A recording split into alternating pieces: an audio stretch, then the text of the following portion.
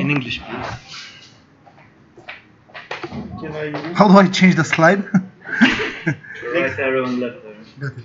Okay, so we're talking today about general concepts of usability. Let's start by first.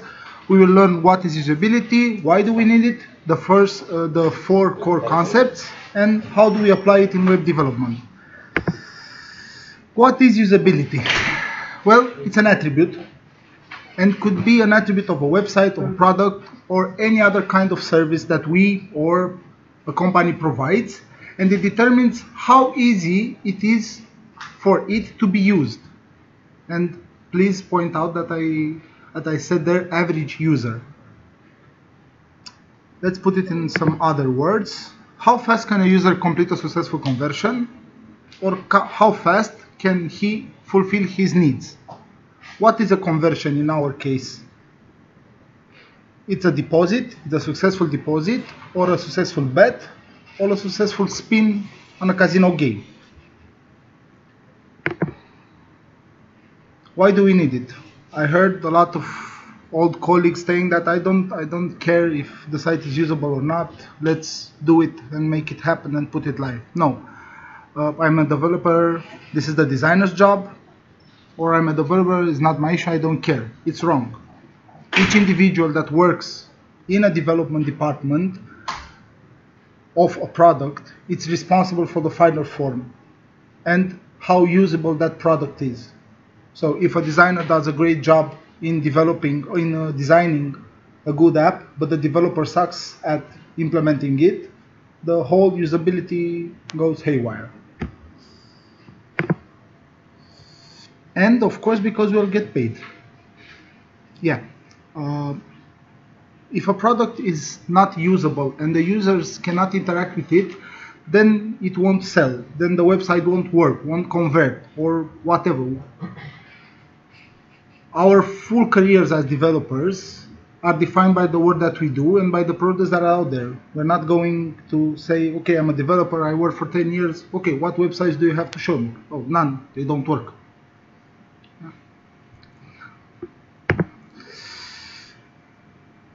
Usability is not uh, is not defined by one thing. As you can see, it's defined by efficiency, by memorability, by errors, and by satisfaction. Let's see all of them together. Efficiency. A product must be easy to use and in- intuitive. Also, an average user, again, point out average user, must be able to learn and use the product fast. So if you have a complicated site, that's not a usable one. If you have a complicated web app or a complicated product that needs to press three buttons to do something, it's not okay. Memorability, as the title says, uh, if an average user returns after a period of time, it must be easy for him to recall the entire process. The errors, the number of errors that are triggered should be zero.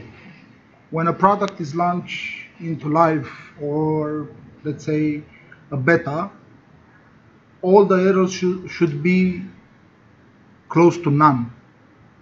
If one occurs, it must be treated in such a way that it doesn't disrupt the user experience.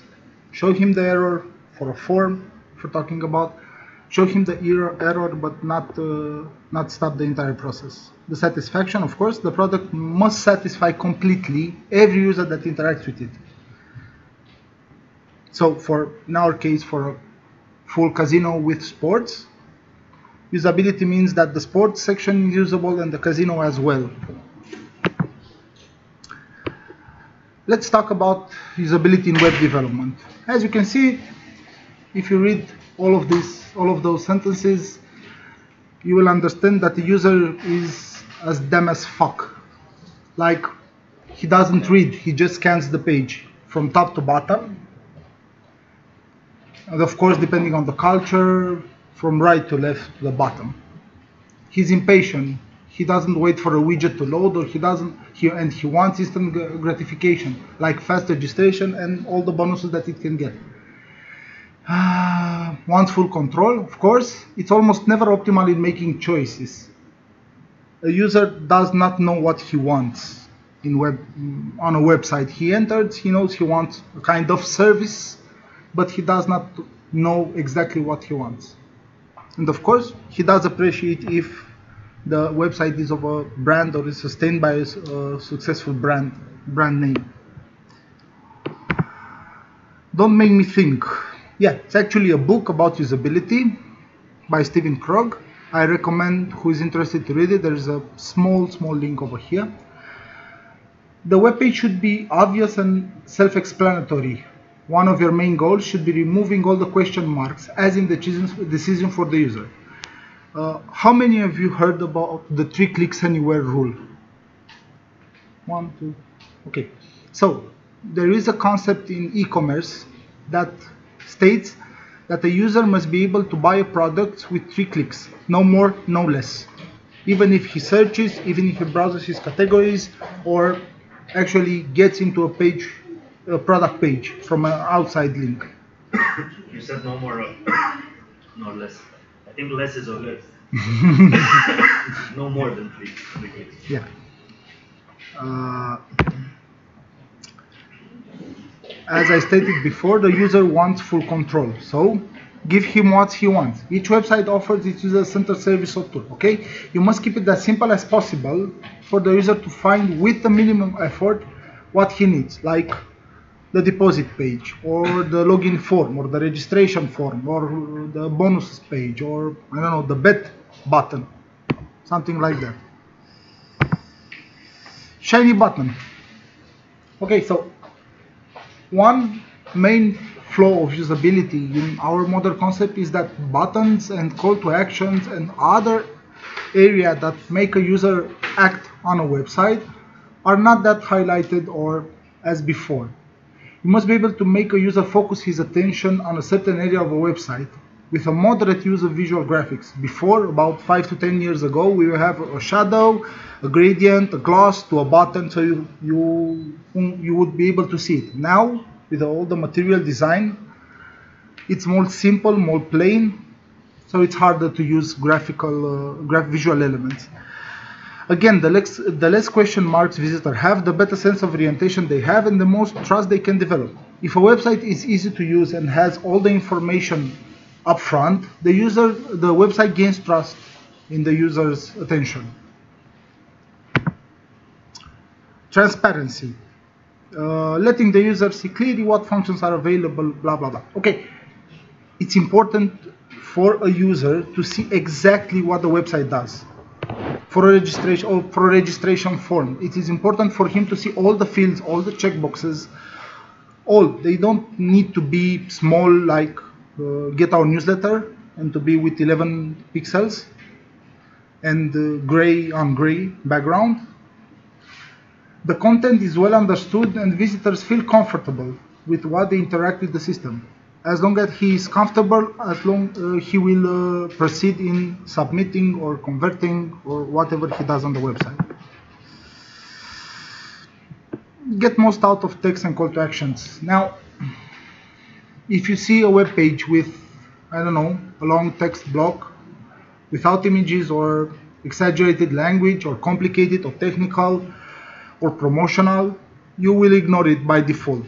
Try and look, open up Romanian, I know, Romanian newspaper website.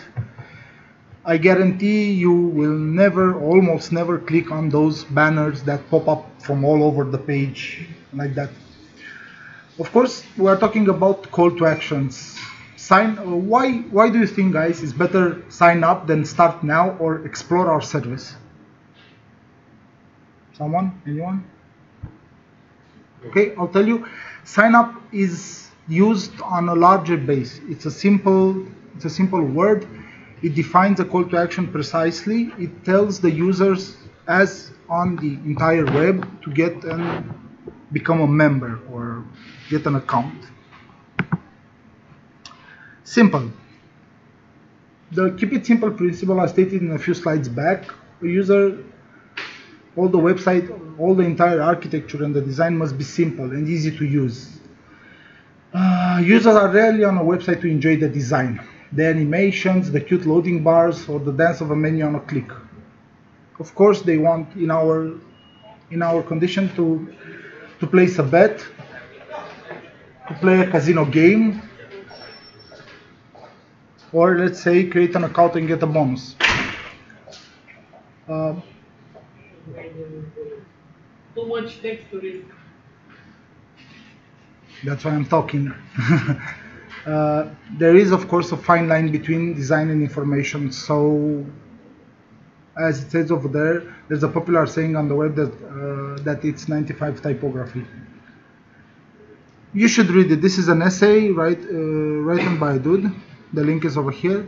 He states that the entire okay, let's say the entire content is based on 95% typography or should be based more on typography less than animations.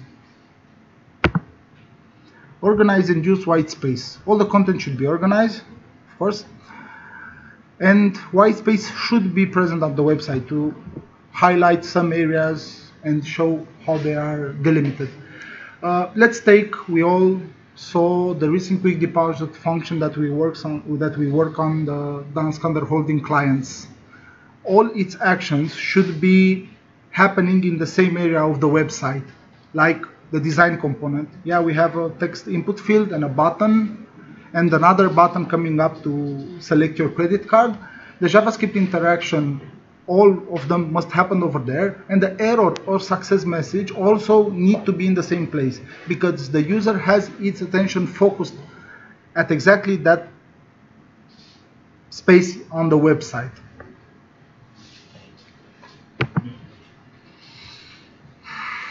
Of course, usability has its own tests. They will always produce useful results. You either get pointed to a problem that you have in the flow of a conversion or in reaching a part of the website, or you can find the major design architectural flow. Usability tests at this point are better to be done by users. You need to have a few users that are not that did not work on that project. You give them the website and tell them, okay, register or make an do an action. So you see, so like that you can see if they manage to fulfill fast and optimal. Of course, I'm not talking only about usability. Every developer, regardless the script language, needs to test their work repeatedly, preferably end-to-end if possible. Time for, this is the end of the presentation. As a personal advice and things that I've learned, the most important that we do not develop websites for us. We don't make, we, we, we need to develop products for the less versed, I say first stupid users, the one that don't understand web, that don't know web.